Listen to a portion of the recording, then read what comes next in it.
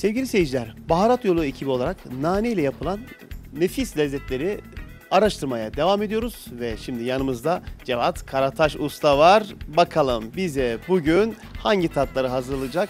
Efendim yayınımıza hoş geldiniz. Teşekkür ederim. Hoş bulduk. Sağ olun. İzleyicilerimiz bugün nane ile yapılan hangi tatları öğrenecekler?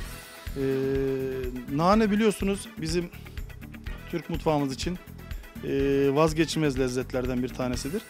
E, bugün nane ile e, sebzeli ve e, sebzeli çeşni çorbası yapacağız. Naneli sebzeli çeşni çorbası sayın izleyicilerimize buradan tarifini verip kendilerine kısa bir sunum yapacağız. E, umarım izleyicilerimiz bu yemekleri sunumlarını beğeneceklerdir.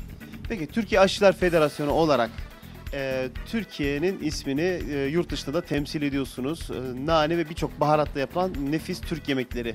Yerli yabancı turistler bu konuda baharatla yapılan yemeklere nasıl not veriyorlar? Ee, şimdi özellikle e, tabii bu turizm sektöründe yerli yabancı misafirlerimiz çok olduğu için özellikle bu baharat e, baharatlarla yapılan yemekler çok hoşuna gidiyor misafirlerimizin. E, tabii bizim de e, en çok içerisine koyduğumuz taze baharatlarla özellikle şimdi e, konumuz olan taze nane ile yapılan yemekler misafirlerimizin çok hoşuna gidiyor. E, onun için e, biz de özellikle yemeklerimize sunumlarda mutlaka e, nane ve buna benzer taze üretilen baharatları fazlasıyla kullanmaya çalışıyoruz. E, çorbamızı başlıyoruz. Tabii efendim. Evet çorbamızda bakalım hangi malzemeler kullanıyor hemen onları öğrenelim. Tabii e, bizim çorbamızın Anadolu'muzun e, vazgeçilmez lezze- lezzetlerinden mutlaka bir tereyağı olması gerekiyor. E, içerisine e, havucumuz var ince doğranmış. Patatesimiz. Klasiktir Anadolu'muzda nohut haşlanmış olarak ve içerisine daha bir çeşni katması için taze baharat tarzında olan renkli kapya biber dediğimiz biberleri kullanıyoruz. Bunun yanında da eee unumu, eee, çorbamızın iyi bir lezzet alması için iyi bir lezzet alması için hafif bir unla beraber de bağlayacağız. Eee, Arzu- evet, en sonda en sonda da nanemizi çorbamız hazır olduğu zaman nanemizi üzerine hafif bir tereyağıyla bir aromatik lezzet katması için çorbamızı bağlayacağız. Başlayalım. Tabii efendim. Türkiye Aşçılar Federasyonu özel konuğumuz olarak bize nefis tatlar hazırladılar.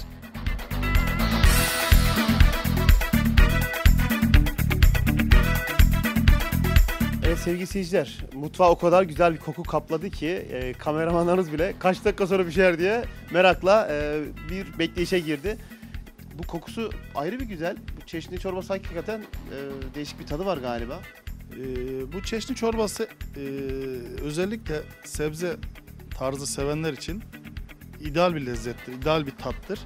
Ee, bunun için de e, demin söylediğimiz gibi mutlaka e, çorbayı yaparken en önemli e, püf noktalarından bir tanesi sebzeleri kavurarak yaparsak o ara, istediğimiz lezzeti, istediğimiz aromayı mutlaka o çorbada yakalarız.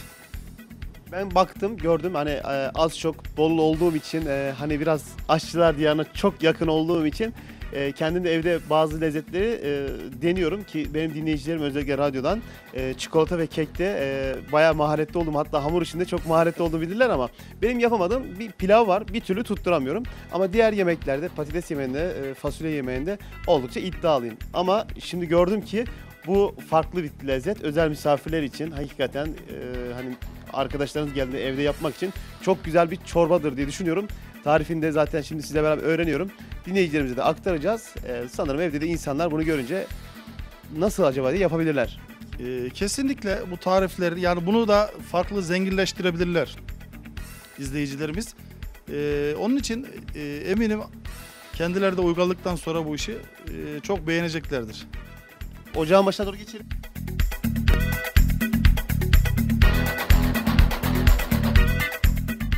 Evet sempatik. Artık tadına bakalım. Çorbamız hazır.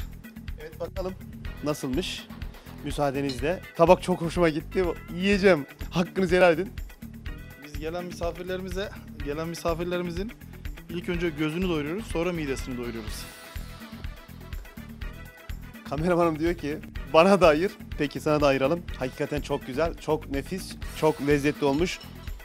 Ee, nanenin kokusu da burnumuza buram buram geliyor.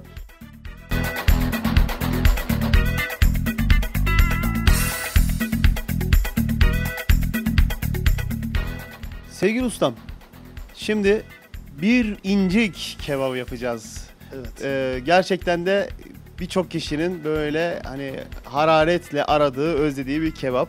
Nanenin o nefis tadıyla birlikte nasıl yapacağız? Ee, incik kebabı e, bildiğiniz üzere e, biz geleneksel Türk in- insan olarak in- kuzu etini çok fazla severiz. Kuzu etine çok bir düşkünlüğümüz vardır. Ee, bunu da klasik olarak e, farklı tarza düşündük. Közlenmiş patlıcanla beraber yanına garnitür olarak ve renkli biberlerle bir e, incik kebabı düşündük. Fazla e, etten fazla oynamadan lezzetini, kıvamını fazla oynamadan bir lezzet düşündük. Arzu ederseniz yapımına başlayalım.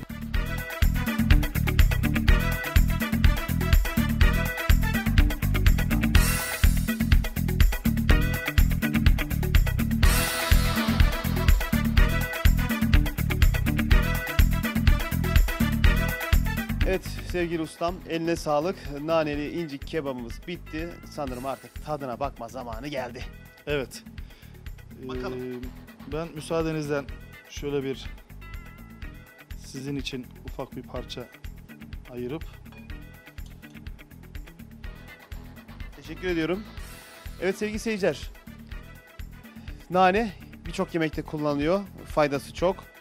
Ee, biz de meşhur naneli incik kebabının tadına bakacağız.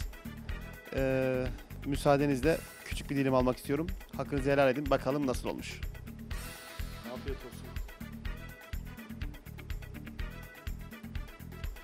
Sanırım şu tarifi yapsam çok doğru olacak. Hani derler ya lokum gibi. Hani kuzu bu kadar lokum gibi olur. Elinize sağlık. Harika olmuş. Evet efendim hem çorba için hem de bu güzel e, etli yemeğimiz için, inci inci kebabımız için çok çok teşekkür ediyoruz. Türkiye Aşçılar Federasyonu da Baharat Yolu ekibine katkılarından dolayı şahsınızla e, teşekkür ediyoruz. Ben teşekkür ederim. Ee, her şey için Türkiye Aşçılar Federasyonu olarak ee, hepinize te- çok teşekkür ederim.